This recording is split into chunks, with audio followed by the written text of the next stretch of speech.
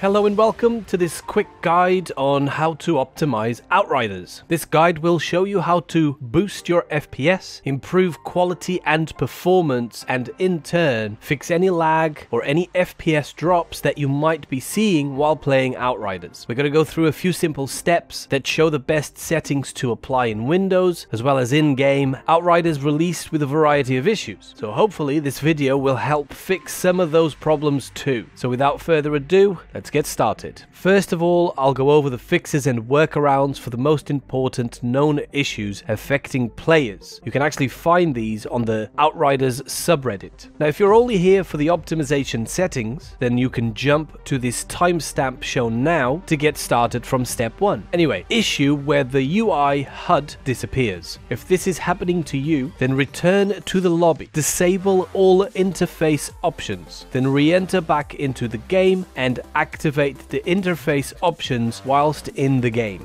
Lots of players are reporting this is the way to fix it. Stuttering and frame rate drop issues. The image shown here shows all known possible workarounds. Disable Ansel. For those of you that don't know, Ansel is the name of the fancy photo mode overlay inside the NVIDIA GeForce experience, and it can be switched off in the settings very easily. Disable DLSS. This is done in the settings in-game. Turn VSync off, also done in the settings in-game. Play in windowed mode, also done via the settings in-game. Enable your FPS limiter and choose various limits to see if improvements are made. Exclude the Outriders folder in Windows Defender. So I would say just pause the video here and follow the guide on the screen in order to apply this. The issue with blurry and smudgy visuals. Switching off the FPS limiter does make a difference, but it isn't enough for Outriders to look how it looked in the demo. On Reddit, lots of people are also reporting turning off VSync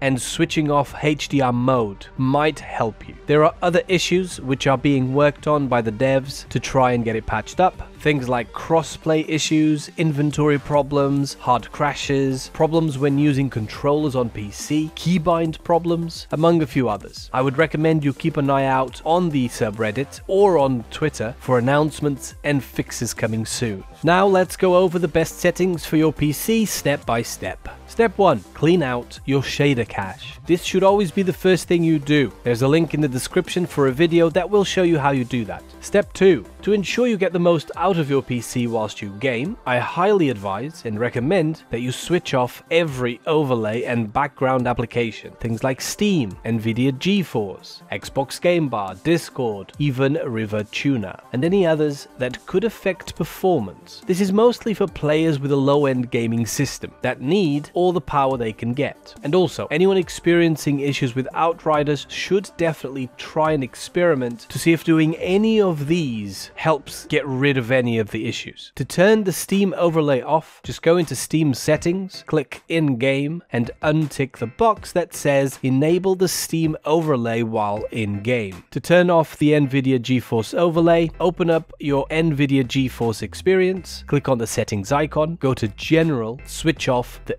in-game overlay. For Xbox Game Bar, using the Windows search bar, type in game mode settings. Click on the icon. Once the window is open, navigate to the left side and click Xbox Game Bar. And of course, set it to off. Then navigate back to the left and click on captures, where you need to switch off background recording and recorded audio. The Xbox Game Bar overlay is really quite heavy on the PC system. So if you wish to use an application to record yourself playing and to record your game time, I would definitely recommend stick to the NVIDIA GeForce experience. For Discord, all you need to do is open settings and on the left select overlay. You'll then just need to disable the option that says enable in-game overlay. After you've done that, navigate to advanced and make sure hardware acceleration is set to off as this actually uses GPU power to run Discord. Step 3. In the Windows search bar, type in Game Mode and click the settings icon. Once the window pops up, ensure Game Mode is set to on. The Game Mode setting prevents system background activities from affecting your gameplay. Things like Windows updates and notifications from background apps during your game time, and it will ensure that you avoid slowdowns and low frame rates while you play. It's unlikely that you'll have this setting off, but it's good to check just in case. Step 4. Navigate back to the the Windows search bar and type in graphics settings and click the icon. Now in here, you should see an option for hardware accelerated GPU scheduling. Now this needs to be set to on, and if it wasn't, you will need to restart your PC after you turn it on. Once you've done that,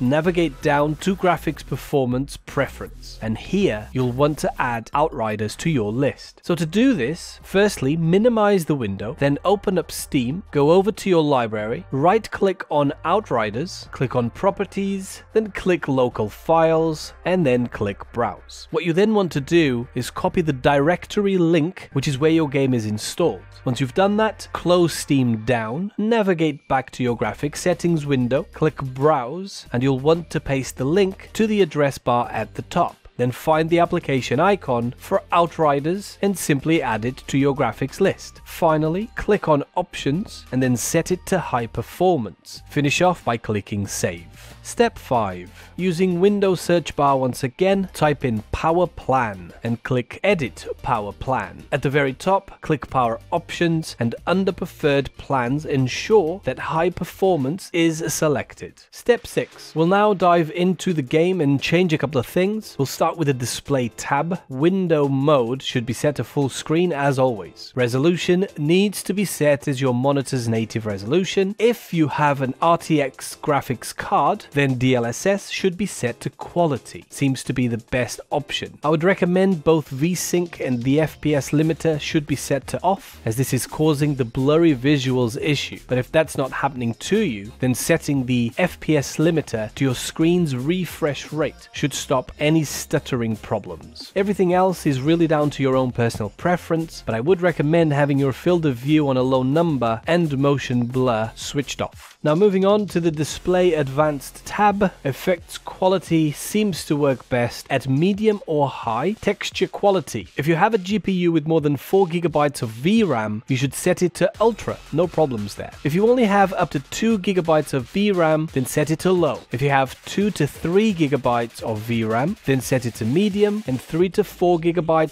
set it to high. For shadow quality, I would say low or medium, as it seems to give you a nice boost to FPS compared to high or ultra. You'll be able to change anti-aliasing if your GPU does not have DLSS, which is the case with me. I would say medium or high is what you should go for. For post-process quality, select medium, view distance quality medium, foliage quality I would say medium or high. Of course, these settings really depend on your PC, so definitely play around and see what works best for you and for your own system. I really hope this guide helps you in some way or another. Hopefully there will be some fixes and patches coming soon that address the issues that people are having with the game. If you have any questions, pop them in the comments section. I appreciate you watching. Thank you very much. Goodbye.